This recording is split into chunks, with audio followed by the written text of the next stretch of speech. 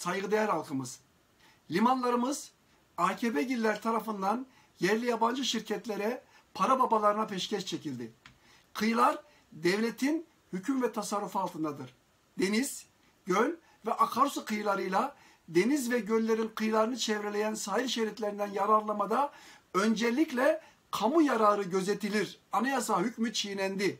Artık kıyılarımızda, sahil şeritlerimizde Katarların, dünyada devletten en fazla ihale alan ilk 10 şirket arasında yer alan beşli çetenin yararı gözetiliyor.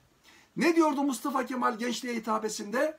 Cepren ve hile ile aziz vatanın bütün kaleleri zapt edilmiş, bütün tersanelerine girilmiş, bütün orduları dağıtılmış ve memleketin her köşesi bil fiil işgal edilmiş olabilir.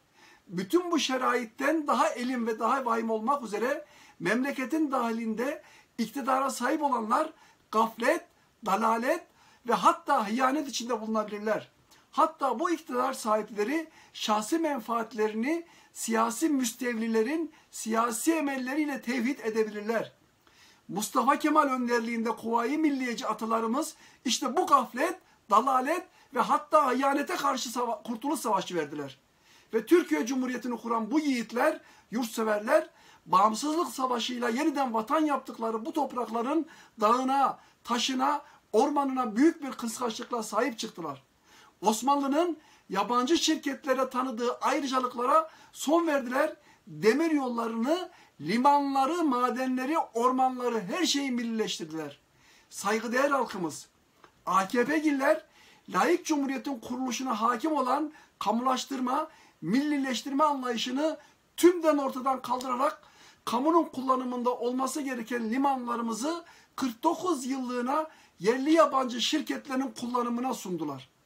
Yiğitlikler, doğruluklar, dürüstlükler hareketi Türkiye'nin en eski ideoloji partisi Halkın Kurtuluş Partisi olarak her biri layık cumhuriyetin kazanımı olan Türk her biri Türkiye Cumhuriyeti'ni kuran Mustafa Kemal ve arkadaşlarının mirası olan onların özverisi, mücadelesiyle kamuya mal edilen ulusal değerlerimize sahip çıkıyoruz.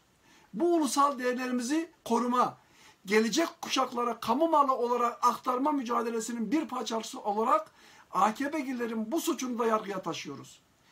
Ülkenin ekonomisinin, geleceğinin ipotek altına alınması anlamına gelen bu kanunu hazırlayan, meclisten el kaldırarak geçmesini sağlayan milletvekilleri ve onaylayarak yasalaştıran AKP'lilerin reisi hakkında görevi kötüye kullanma, nitelikli dolandırıcılık suçlarını işledikleri için bugün itibariyle suç duyurusuna bulunduk.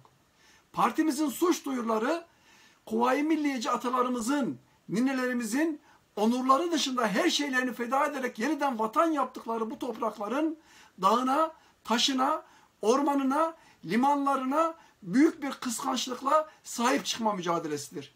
Şahsi menfaatlerini müstevlilerin siyasi emelleriyle tevhid edenlerin halkımıza, tarihimize, vatanımıza karşı suçlarını kayıt altına aldırma, tarihe not düşme mücadelesidir.